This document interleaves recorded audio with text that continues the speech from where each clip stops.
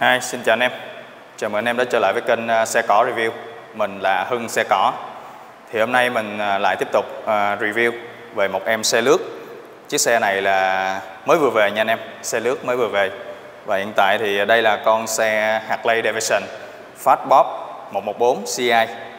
Và con này là thuộc đời 2019 và nó cũng là một chiếc xe một đời chủ đăng ký lần đầu vào tháng 9 năm 2019 biển số thành phố Hồ Chí Minh và em này thì nó là hải quan chính ngạch sang tên toàn quốc.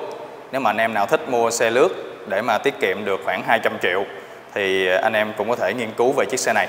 Hiện tại thì em này cực kỳ nguyên zin. Xe này nguyên zin, không có độ chế hay là đâm đụng té ngã. Đấy, thì ờ, đây là một cái con Harley Davidson, bản ờ, Thái Lan. Thì trước đây nó có một cái bản nữa là bản nhập Mỹ. Thì bản nhập Mỹ nó vào khoảng ờ, hơn 900 triệu sau khi lăn bánh tại thành phố Hồ Chí Minh đấy và cái em à, Harley Davidson Fast Bob này á, nó được nhập là bản Thái Lan. Thì giá hiện tại của em này á, là vào khoảng à, 780 triệu sau khi lăn bánh.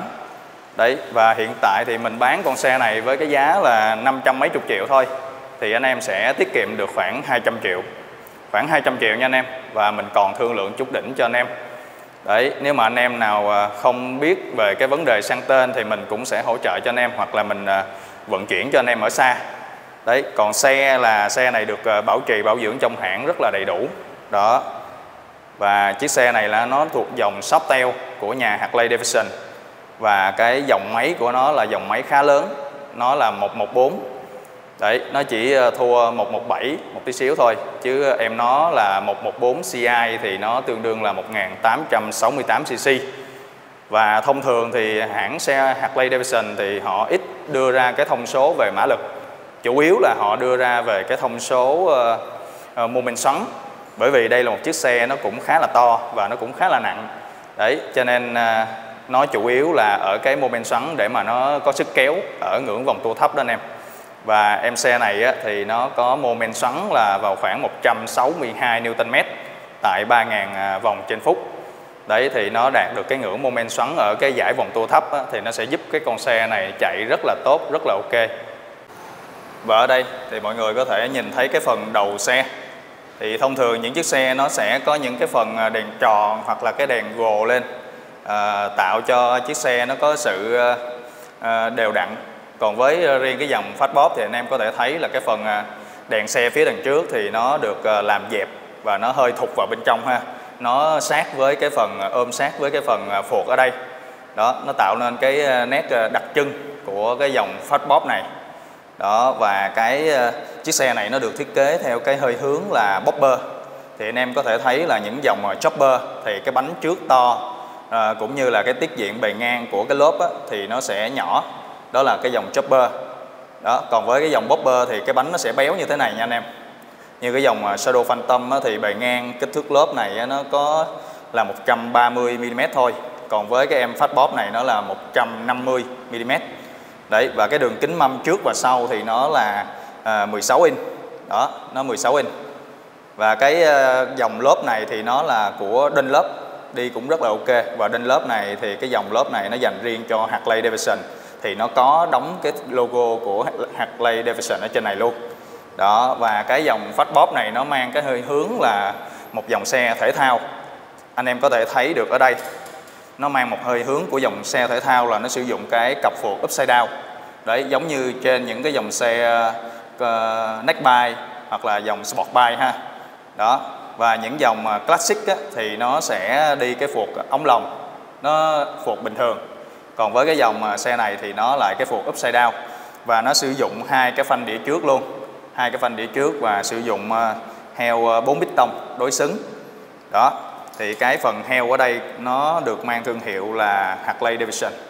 Đó còn với cái cặp ờ, uh, phuộc upside down này là nó thuộc uh, thuộc hãng ờ, uh, Showa đó nó sẽ giúp cho hành trình của mình đi được êm ái. Đó và cái hãng Showa thì rất là nổi tiếng về cái chuyện làm cái hệ thống giảm sóc này. Đó và xe thì nó cũng được trang bị uh, ABS trước và sau. Đó cũng uh, rất là yên tâm khi mà đi ở trên cung đường dài và về phần à, trọng lượng cũng như là chiều cao yên của mẫu xe Fastbob 114 này á, thì cái chiều cao yên của nó là vừa phải, nó không quá cao. thì à, để mình ngồi lên ngồi lên trên em xem. Đấy. Chống chân rất là thoải mái để chân xuống mặt đường không hề nhón. Và cái chiều cao yên này nó là 710 mm đấy nó giúp cho mình ngồi rất là thoải mái nha anh em. Đấy và cái tư thế để chân thì nó sẽ như thế này đó, chiếc xe thì nó có cái ghi đông ngang, nhưng mà nó cũng không quá là cao. Nó vừa tầm với cái tay lái của ờ, những cái chiều cao của anh em, của Việt Nam. Đó, và chân thì cũng ờ, không quá đưa về phía đằng trước, cho nên ờ, chiếc xe này nó cũng sẽ phù hợp với những anh em cao 1m6 trở lên là đã có thể sử dụng được chiếc xe này một cách dễ dàng. Đó, còn nếu mà anh em nào muốn ghi đông cao hơn nữa hoặc là muốn lùi về sau nữa thì anh em có thể mua thêm cái gù nối để mà mình mình đổi ờ, cái tư thế ghi đông. Đó. Còn với một người 1m7 như mình thì ngồi như thế này nó cũng rất là vừa tầm vừa phải. Đó. Và trọng lượng của chiếc xe này thì nó vào khoảng là 296 kg trọng lượng khô. Khi mà mình đổ đầy xăng à, đi ờ, nước mát đồ này kia đầy đủ thì cái chiếc xe này là 306 kg thì nó cũng tương đương với cái dòng Sportline 107 đấy và cái bình xăng ở trên con xe này thì à, nó cũng khá là nhỏ nhắn. Đó nó nhỏ nhắn và nó có dung tích là 13,6 lít. Đó 13,6 lít. Và cái bình xăng này à, sẽ giúp cho chúng ta đi được à, khoảng là 200 cây. Ờ, à, khoảng 200 cây hoặc là hơn 200 cây khi mà mình đi đường xa nha anh em. Và cái điểm đặc trưng của Harley Davidson thì cái nắp bình xăng nó nằm ở bên tay tay phải. Đó và cái nắp bình xăng nó vặn ra cũng rất là dễ dàng mình chỉ việc xoay và mình vặn mở thôi rất là đơn giản. Bởi vì à, chiếc xe này nó sử dụng cái hệ thống chìa khóa thông minh à, giống như là chìa khóa smart key đó anh em. Cho nên mình không có cần phải dùng cái chìa khóa. Đó chỉ có khi nào mình khóa cổ thì mình mới dùng chìa khóa thôi. Còn bình thường là chiếc xe nó sử dụng cái à, chìa khóa đó để mà chống trộm luôn. Đó rất là thông minh. Đụng vào xe thôi là nó hú lên in nổi luôn. Cho nên cái xe này nó chống trộm rất là tốt. Đó rồi bây giờ mình sẽ quay chi tiết từng chi tiết uh, giới thiệu cho anh em để mà anh em ngắm về cái em uh, phát bóp này ha. Và phần đèn trước của xe thì anh em có thể thấy chiếc xe nó sử dụng đèn full led ha. Đấy full led luôn. Nó có cả cốt và pha đều full led và nó có thêm một cái đèn uh, chạy ban ngày ở đây ha đèn định vị. Đó nhìn rất là sang và sau khi ờ, tắt cái đèn xe thì mình sẽ nhìn được kỹ hơn vào những cái thấu kính ở bên trong. Đó rất là đặc trưng. Nếu mà anh em chạy ngoài đường thì sẽ thấy rất là ngầu nha. Đó và cái phần xi nhan của nó thì được ờ, nằm ở phía dưới cái tay lái. Đó xi nhan của nó rất là đặc trưng của Harley Davidson. Đó và cái xi nhan thì cái bóng của nó là vẫn là bóng halogen. Đó tuy nhiên ở phía sau á, thì nó sử dụng là bóng led đấy à, nó cũng à, rất là hay ha. Nhìn cái xi nhan nó như là quả trứng gà. Đó và cái à, đây là cái phuộc phuộc upside down của nhà Showa và em xe này thì à, đi lướt mới có hơn 4.000 cây thôi. À, cho nên cái chất xe nó rất là đẹp. Chủ xe cũng rất tương đối là ít đi. Và cái dòng 114 ở đây thì nó thể hiện cho cái dung tích xi lanh. Đó, một một bốn là cái ờ, đo lường của Mỹ nha mọi người.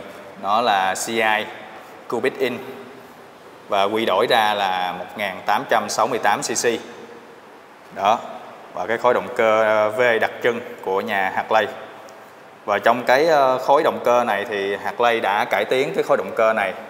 Khối động cơ có tên gọi là Milwaukee à, thì cái khối động cơ này nó cũng đã có một cái bộ chống rung à, ở bên trong giúp cho cái khối động cơ này nó không có rung và giúp cho chiếc xe hoạt động rất là mượt ở mọi giải cấp số cũng như là mọi giải vòng tua. Đó đó là những cái cải tiến của Harley Davidson trong những năm gần đây.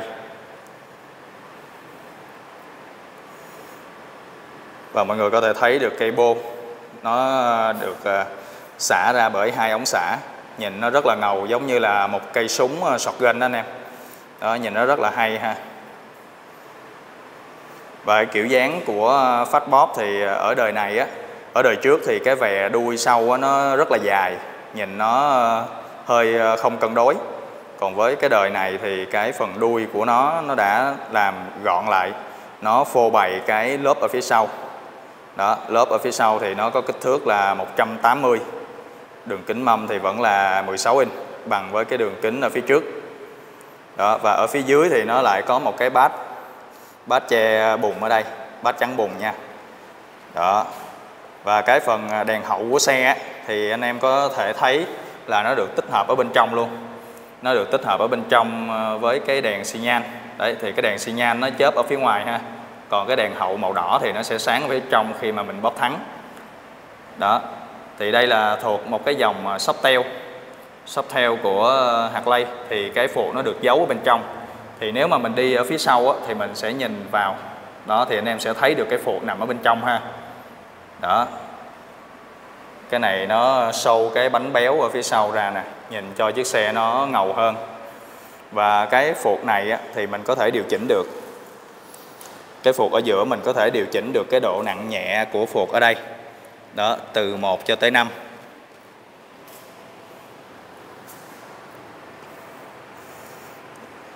lọc gió thì nó được thiết kế theo kiểu ờ, sâu ra ngoài. Lọc gió này thì nó có tuổi thọ là khoảng ờ, 6.000 cây nha anh em. À, hiện tại thì 4.000 cây rồi còn 2.000 cây nữa mình thay cái lọc gió này. Và cái lọc gió này thì có vài trăm ngàn thôi cũng khá là rẻ. Đó không có mắc tiền. Và đây là cái bình xăng của xe. Cái tem ờ, rất là đặc trưng của Harley anh em. Cái màu ờ, trắng đi với cái tem màu đen nó khá là ngầu, giúp cho chiếc xe ngầu hơn. Cái ghi đồng tay lái nó nằm ngang, đó, rất là chất lượng luôn. Và xe thì ờ, sử dụng chìa khóa smart key, mình có thể gọi là smart key đi nha anh em, cho nó dễ, đó. Bây giờ thì mình sẽ nổ máy lên cho mọi người nghe ha và hiện tại thì em nó đã đi được ờ, 4.800 cây. Đấy. À, đồng hồ thì nó rất là đơn giản nó có ờ, báo vòng tua rồi báo tốc độ nằm ở đây ha. Đó và báo cấp số nữa. Khi mình chạy thì mà nó sẽ hiện lên cái cấp số. Đó nó có ABS nè. Thì xe nào có ABS nó sẽ sáng cái đèn ABS lên. Đó báo xăng. Báo xăng ở đây. Rồi khi mà gần hết xăng thì nó sẽ báo màu vàng ở đây ha. Đó, nó thể hiện đầy đủ ờ, các tính năng mặc dù là cái đồng hồ nó khá nhỏ nhưng mà nó thể hiện đầy đủ các tính năng luôn. Đó và cái phần tem. Đấy xe này xe nguyên zin nha anh em. Nguyên zin nguyên bản cho nên uh, nhìn vào là thấy một chiếc xe zin rất là cân đối rất là hoàn thiện. Đó phần yên ngồi nó cũng ờ, khá là thoải mái bởi cái bởi vì cái yên này nó khá là dày. Đó xe thì uh, dẫn động là dây Cura đó hệ truyền động là dây Cura. Nó rất là êm ái và cũng dễ bảo dưỡng. Hầu như là phải nói là không có cần bảo dưỡng luôn. Khi nào mà chạy ờ, tới cái ngưỡng km cần phải thay dây Cura thì mình thay thôi. Nó theo cái định kỳ của hãng. Đó và đây là cái khối động cơ anh em có thể thấy ha. Phía bên tay trái. Nhìn nó rất là chất lượng luôn. Những năm gần đây thì Harley bán rất là chạy những dòng máy 114, 107 đó rồi những dòng cao cấp như là CVO rất là nhiều dòng xe. Và giới trẻ bây giờ cũng ờ, rất là ưa chuộng hạt lây nó ờ, thể hiện được cái sự ờ, đẳng cấp của của người chơi. Đó. Rồi mình nổ máy lên cho mọi người nghe nha.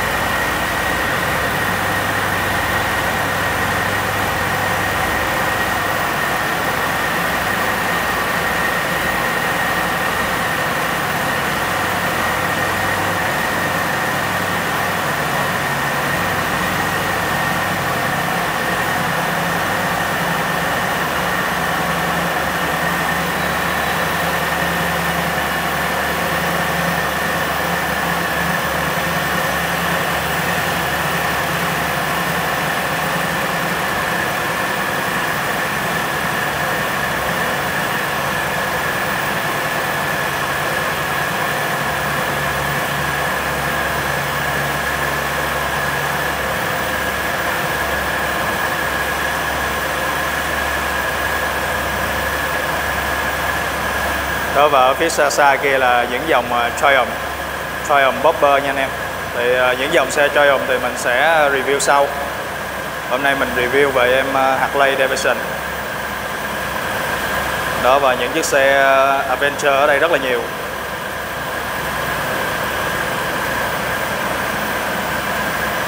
Rồi anh em nào quan tâm tới chiếc Harley Davidson Fastbob xe lướt này thì cũng có thể liên hệ với mình nha. Đó, chiếc xe còn rất là keng long lanh. Xe thì à, sang tên toàn quốc. Nếu mà anh em nào ở xa thì mình sẽ hỗ trợ vận chuyển cho anh em. Rồi xin cảm ơn em và hẹn gặp lại anh em nha.